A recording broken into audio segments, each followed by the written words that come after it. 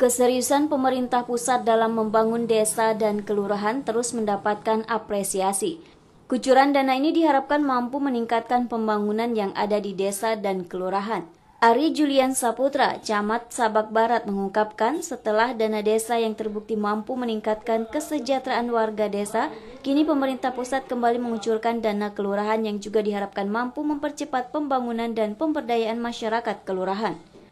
Eh, tentunya dalam penggunaan dana tersebut ya tentu ada aturan-aturan juknis-juknis yang harus kita ikuti. Nah sekarang ini kan juknisnya belum ada, kita hanya mengacu, baru mengacu kepada uh, peraturan Menteri Dalam Negeri saja.